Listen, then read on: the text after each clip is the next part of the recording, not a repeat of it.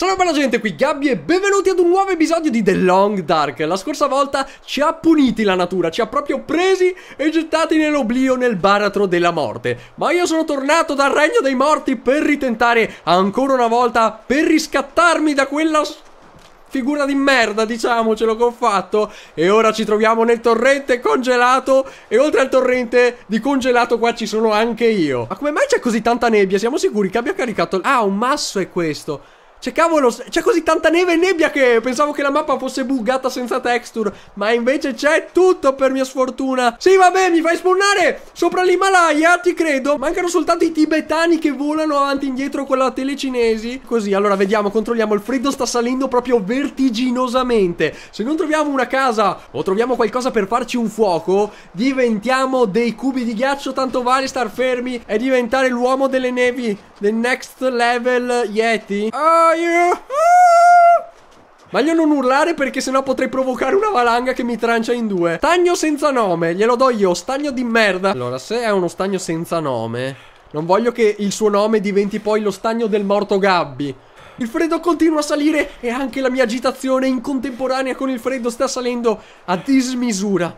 Ok, in queste casette abbiamo, si trova sempre qualcosa, una lattina. Zuppa di pomodoro! Uh! Finalmente qualcosa di utile. Un'accetta per tagliare la legna. Mi sa che siamo abbastanza fregati. Posso anche distendermi sulla neve e stendere un velo pietoso su di me? Eh? Perché la legna non si può tagliare. Voi non capite la serietà della questione. Io sto congelando mentre voi siete al calduccio in casa.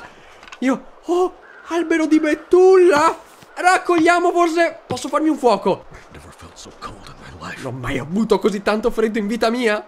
E di credo! Siamo sopra non so che montagna!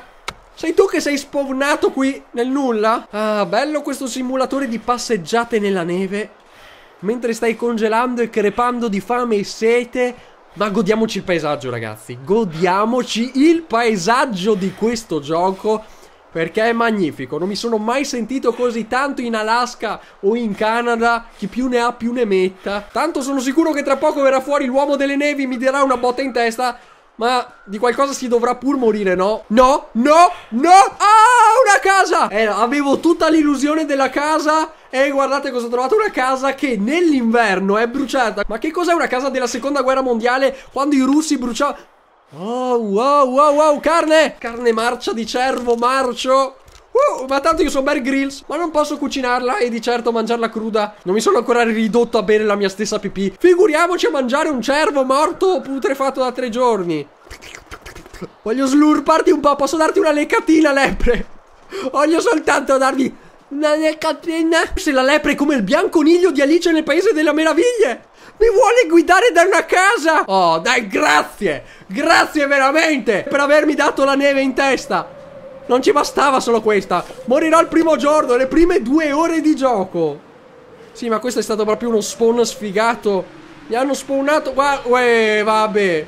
Soffia di più, soffia di più. Bella la montagna, mi dicevano. Ti divertirai, mi dicevano. Sto vedendo, cavolo. Giuro che andrò al mare a vita. Almeno là, un'onda e via. Tutti questi alberi tagliati. Chi li ha tagliati? Ci sarà una segheria da queste parti. Te, ve l'ho detto, ve l'ho detto. Questo gioco allora è realistico. Gli alberi tagliati facevano intuire che c'era una casa vicino. Aria disboscata, ecco perché. E guardate la casa che bella. Guardate che Vabbè, c'è una stufa. Ma non ho combustibile! Questo è il combustibile. L'abbiamo trovato! Ok, era per terra di fianco. Che colpo di fortuna! Un po' di relax finalmente. Ah.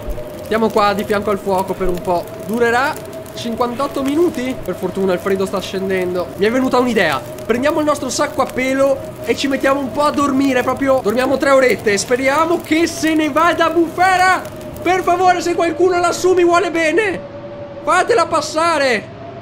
Sì, ma in sta montagna ci sono più bufere che... Non c'è la luce, non esiste il giorno, non esiste. È tutto... E si è spenta. E si è spenta anche la mia possibilità di sopravvivere. Raccogliamo il sacco a pelo e andiamocene.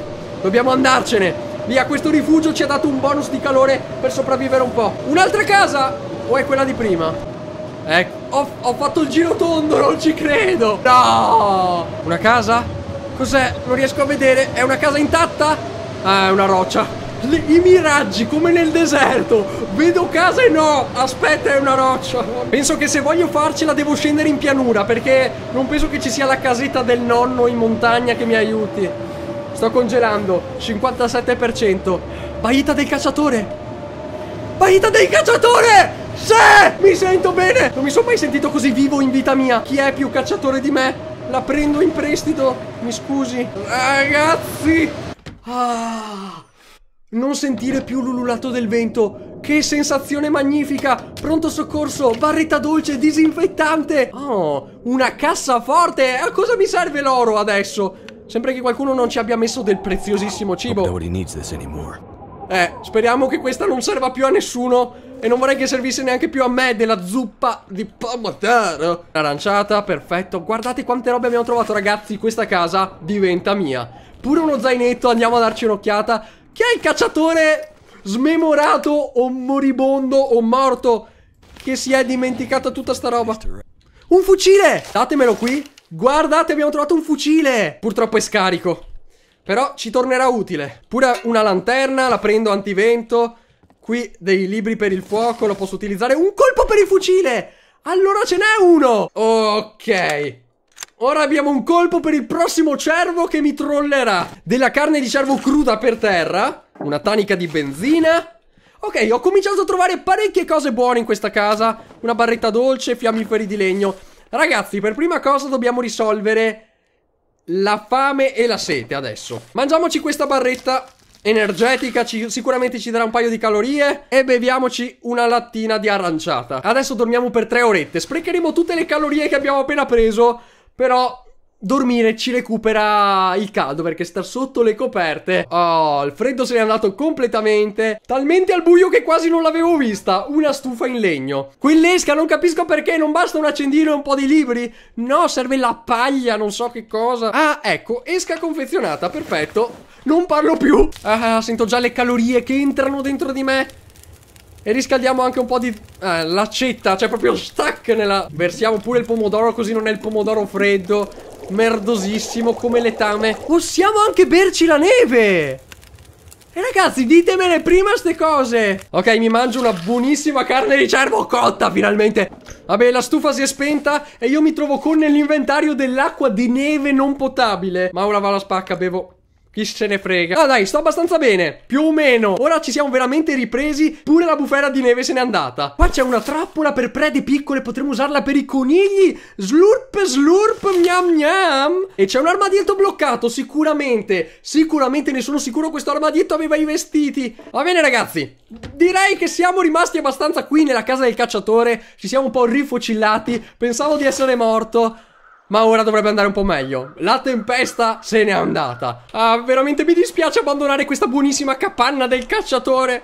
Era così accogliente, così buona con noi, è stata buona. Ma purtroppo dovrò andarmene via da mamma a casa per cercare di farmi le ossa adesso. E magari anche se ci riusciamo fare la pellaccia a qualcun altro. Eccolo il cervo! Eccolo fermo, sparo! A dire la verità, se si sarebbe fermato gli avrei proprio sparato. Oh, dai, mi ha trollato davanti alla mia casa. Sono sfinito. Rientro a casa. Letto. Per almeno sei ore non voglio che mi disturbiate. Mi sono svegliato nel mezzo della notte e non vedo niente. Ah, devo accendere un accendino se no non ritrovo il letto. Eh beh, quanta luce fa? Dormiamo altre 4 ore? Arzibegna, mara mio, mara meo. Guardate che bel tempo che c'è fuori, un bel sole che tra poco sarà tinto del mio sangue. L'unico problema adesso è la fame. Ho soltanto 247 calorie. Non ci resta che trovare un'altra casa del cacciatore. Saremo così fortunati da trovarla? Ma ti ho dato uno spicchio d'aglio dimezzato mezz'ora fa. Sei un puzzo senza fondo. Ragazzi, dove è finita la mia carne di cervo? Se l'è mangiata la stufa, guardate, è sparita. No, l'ho dimenticata nella stufa. C'ho un modo per recuperare le calorie, tranquilli. Subito dobbiamo trovare una casa. O qui diventerò un albero di Natale. Potete decorarmi. 27 calorie, no. Ragazzi, facciamo una cosa. Ci beviamo la lattina. Questa ci darà un paio di calorie, 250. Dovrebbero bastare per trovare un'altra casa. Oh, cos'è quella? Un miraggio, no! Una casa! Che fortuna, stavo crepando!